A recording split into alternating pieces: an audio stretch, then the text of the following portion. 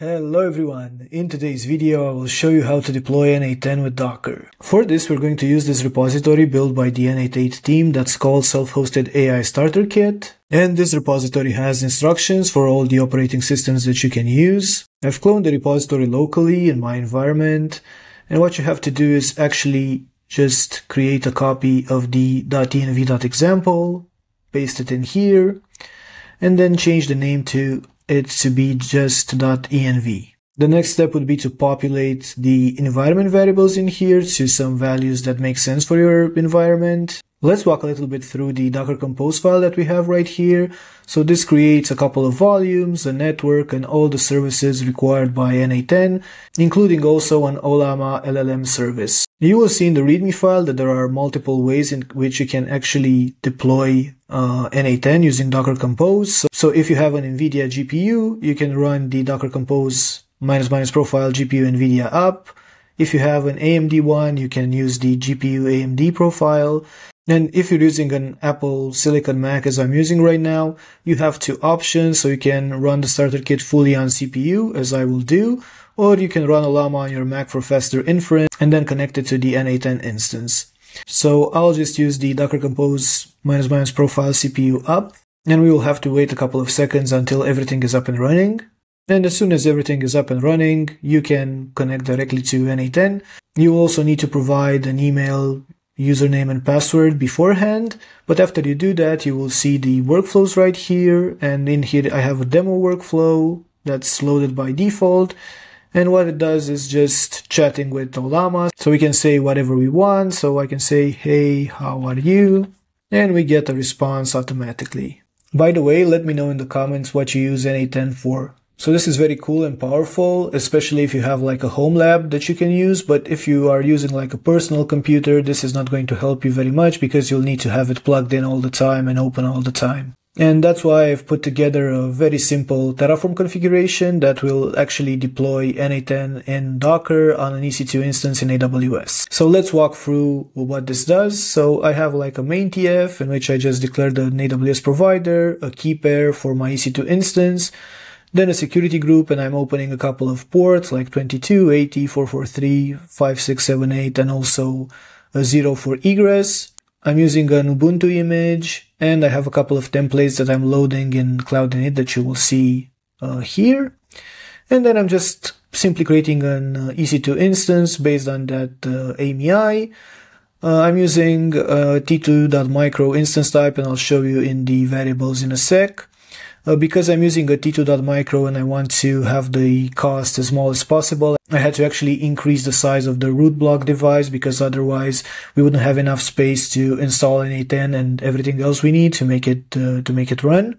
And optionally, you can also use an AWS Route 53 zone to point out to the public IP of the AWS instance that you've created. In the templates, I have one template for the environment in which you have to set the Postgres user, password, encryption key, user management, JWT secret, and a couple of other details as well.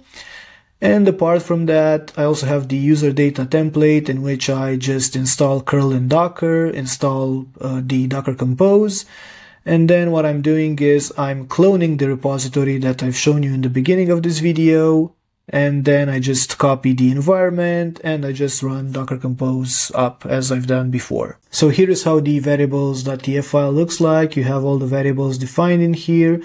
And as you can see, some of them have uh, a default value and others don't have a default value. And I'm actually adding those particular values in the terraform.tf vars file, so I'll have to do that as well. Uh, this is where I'm using my public key from. Make sure this points to your correct public key.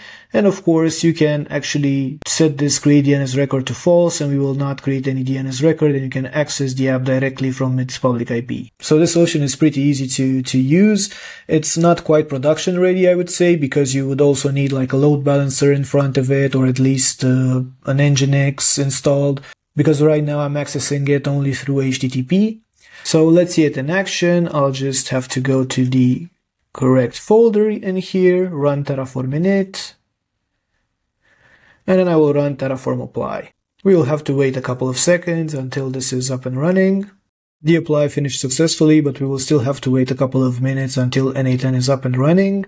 But if you are impatient, as I am, you can just easily connect to the EC2 instance, and we can just do a cat on var log cloud init output.log. It would actually be even better if we do a tail minus F to see it in real time updating so we can see that right now it's pulling all the images we require. After a couple of minutes, everything is up and running. And you have two ways of actually accessing n8n. If you use the DNS record, you can use directly the DNS record output that you have right here. Otherwise, you'll have to use the instance public IP. So I'll use the DNS record for this one. So first we'll have to set up the owner account and as you can see I am on n8n.mydomain.com and I have the port right here because I haven't set up like load balancer or nginx. So I'll just do that and as soon as I'm done we can see the demo workflow. But in this case, because I'm using a t2.micro instance, this is not going to work because the t2.micro instance doesn't have enough RAM to actually run Ollama. But what we can do is actually import another workflow so right now I'm on n8n workflows website, so we can just go on one of them, click on it, and then click on use for free, and we can copy this template to clipboard. Next, I'll save this copied JSON to a file, and I saved it in this one. And now we can go back to our n8n instance, click on create workflow, and then we can just import from file. Then we can see that we have the entire workflow right here. Let's click on execute workflow and see what's happening.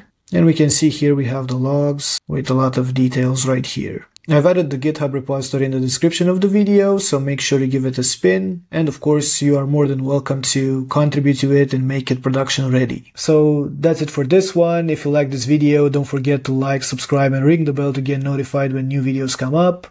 I'm Flavius. See you the next time.